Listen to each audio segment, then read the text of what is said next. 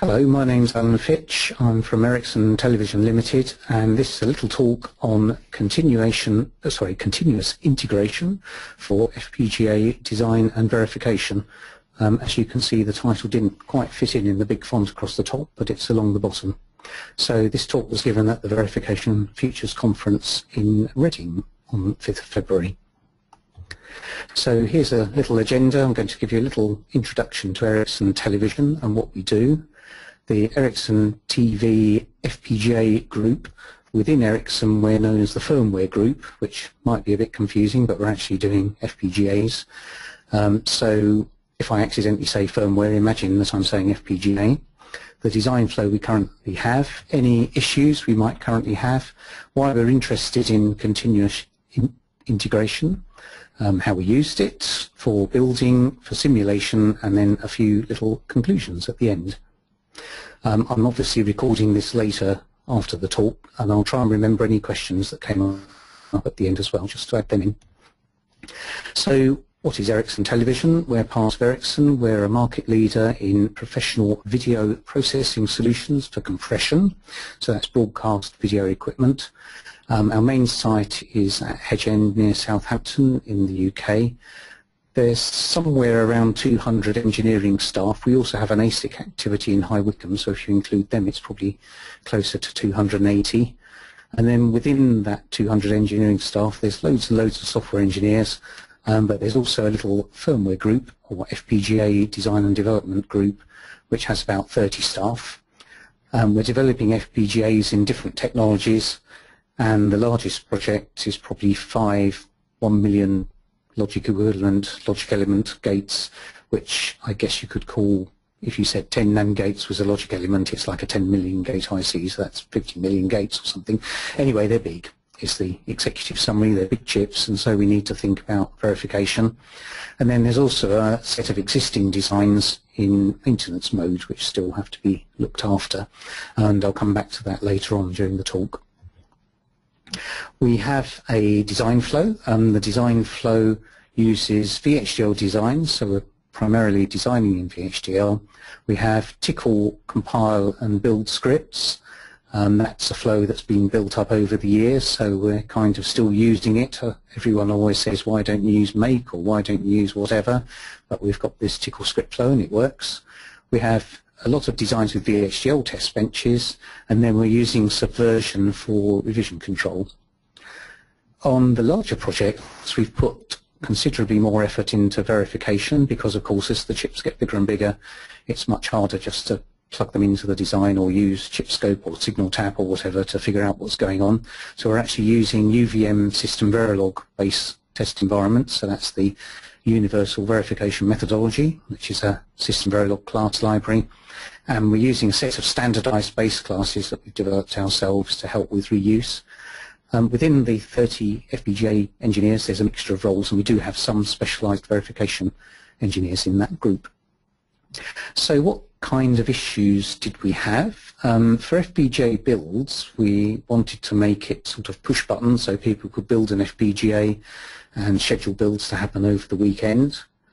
For FPGA simulation, we wanted to set up lots of regressions, especially with the bigger chip with UV chips with UVM-SV, um, ideally in a non-proprietary way, so people often say, can't you use Mentor, Verification Run Manager or whatever, but we decided to do it in a non-proprietary way.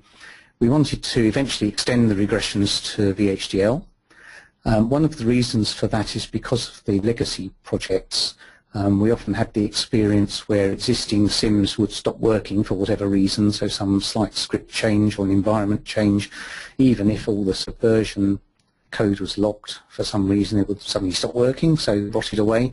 So we wanted the ability to keep those sims going by regression. And then, of course, it does give you efficient use of licenses. You can use licenses at times when there's no one in the office. So how did we approach that? Um, we could have done things to our existing TCL flow if we'd thought about it and made a lot of effort. But in fact, we already had software groups on the same site at Southampton who were using the Jenkins continuous integration server. Um, there is a web link to Jenkins on the last slide in the presentation, but it's an open source project written in Java and it's cross-platform and it's designed for running continuous integration and regression type um, problems or solutions, I suppose I should say. It's a solution, not a problem.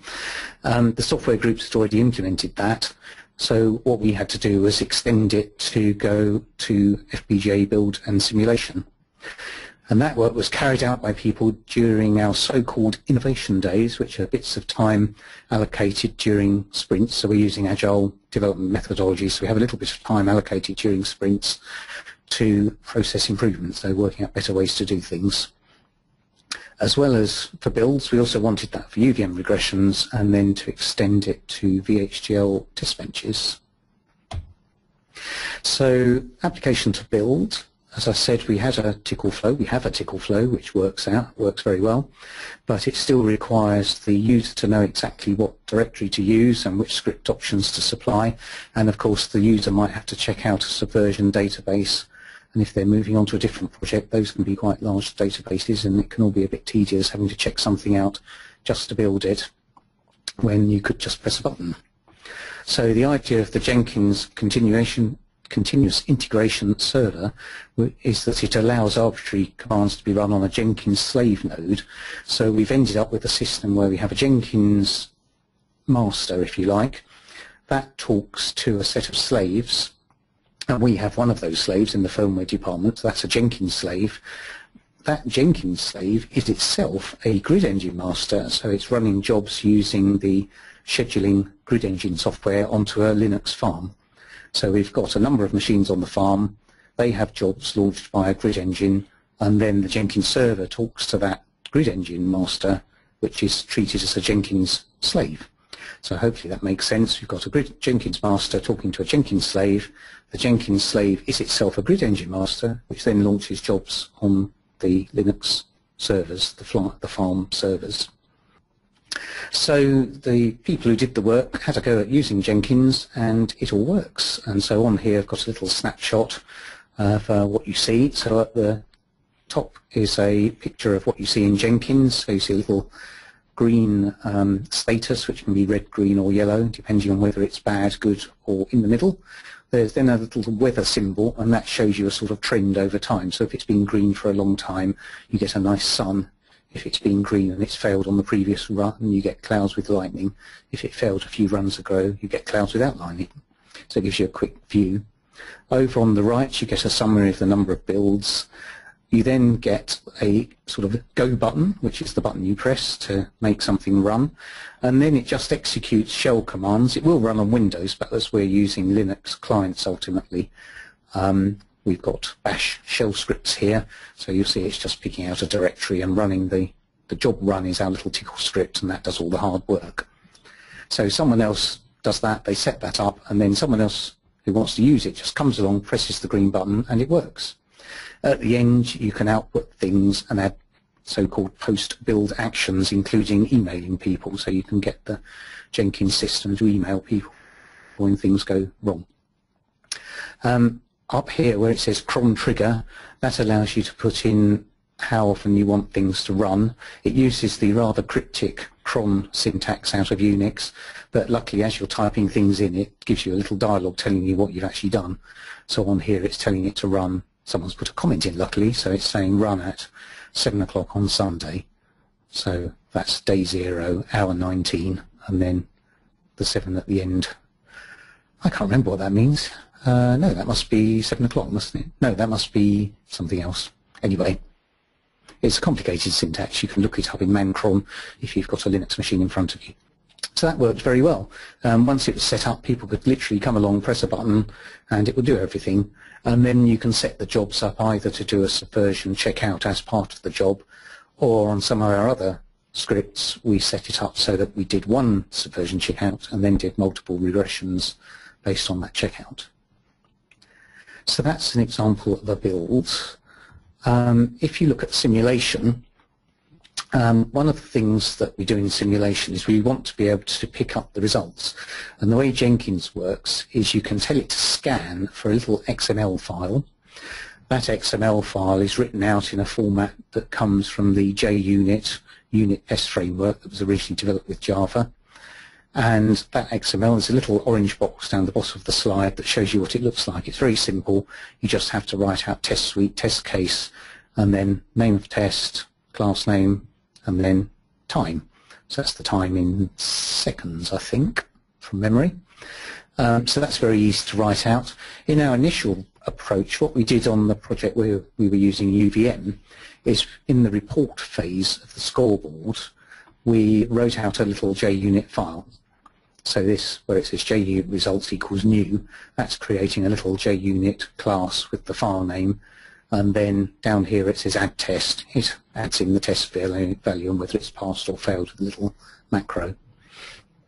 Um, and that works nicely.